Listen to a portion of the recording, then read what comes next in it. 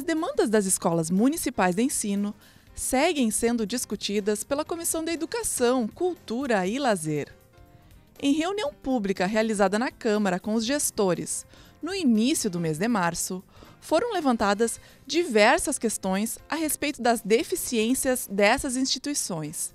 E esse foi o assunto da reunião realizada com a secretária de Educação.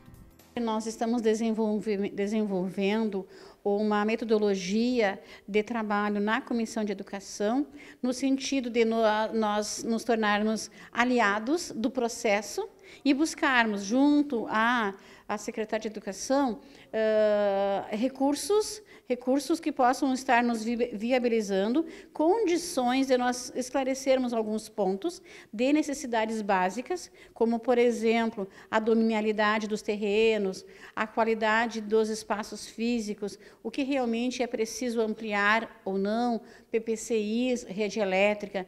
A secretária respondeu aos questionamentos dos vereadores sobre falta de merendeiras, segurança e a carência de escolas em algumas regiões da cidade. Segundo a secretária, devem ser criadas duas novas unidades de ensino. Uma localizada na Vila Brenner e outra no Parque Pinheiro Machado.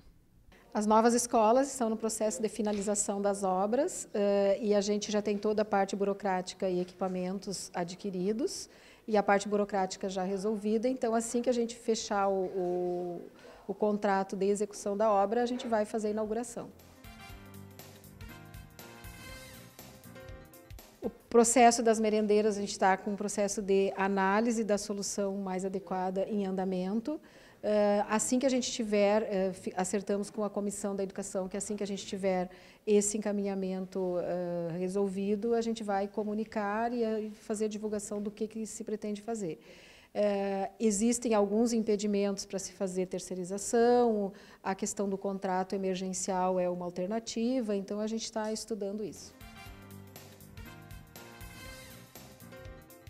O transporte, eu tenho duas modalidades né, de transporte que a gente tem: o transporte do campo e o transporte para aquele portador de necessidades especiais, uh, que é urbano.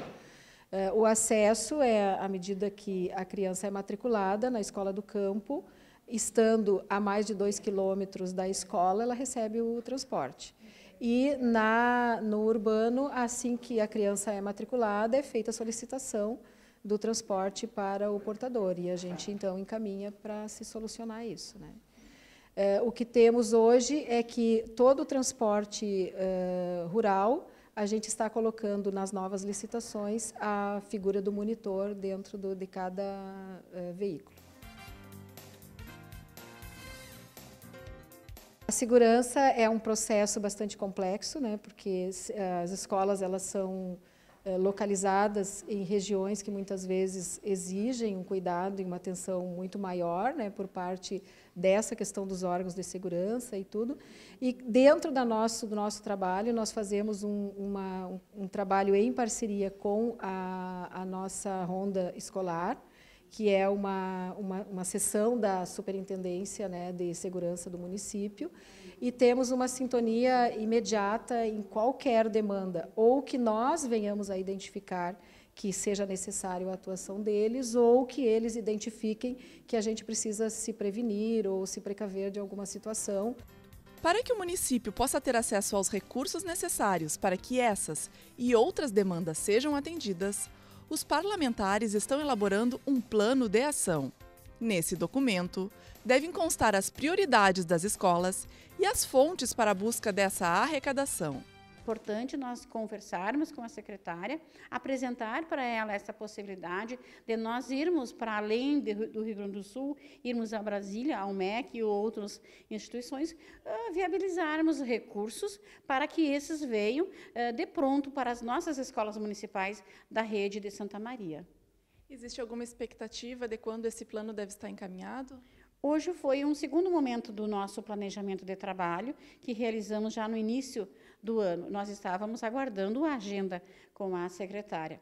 Nós vamos voltar a nos reunir nos próximos dias, já vamos buscar com, uh, mais pessoas, técnicos, para nos ajudar a, a, a encontrar a, é, os meios os objetivos principais, aonde realmente nós precisamos buscar esses, essas condições de execução de trabalho de forma correta, de forma possível, para que não se faça nada em vão.